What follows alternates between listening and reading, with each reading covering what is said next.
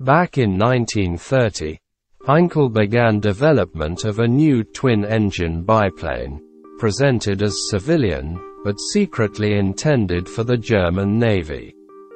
The Heinkel HE-59, which went into production in 1935, was conceived as a seaplane for attack and reconnaissance, but proved versatile and adaptable in many situations.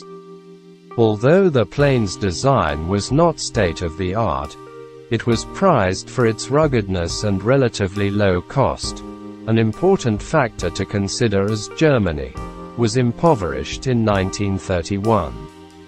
The plane had a hybrid construction, wooden wings and a metal frame fuselage, covered with canvas.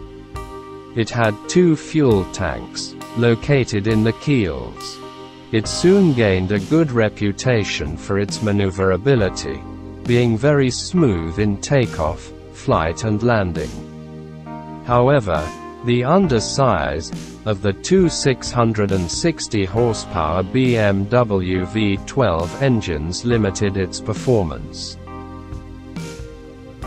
The Heinkel He-59 was equipped with three 7.92 mm MG-15 defensive machine guns.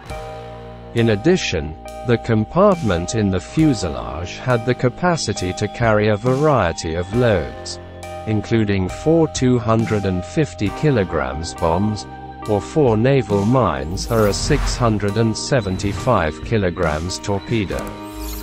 During the early months of World War II, the He-59 demonstrated surprising versatility. In addition to its function as a torpedo bomber, it was employed as a mine layer, reaching ports under the control of the Royal Navy and dropping war charges at their mouths. It was also used as a reconnaissance aircraft. While between 1942 and 1943 it played the role of a transport aircraft for logistical support to German ships, as it was able to transport supplies and personnel between ships and land.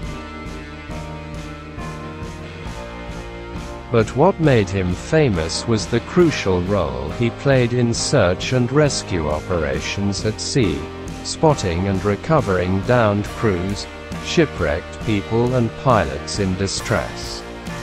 The Heinkel, HE 59 inches remains a piece of aviation and maritime warfare history during World War II. It highlighted the crucial importance of rescue and logistical support aircraft in naval operations.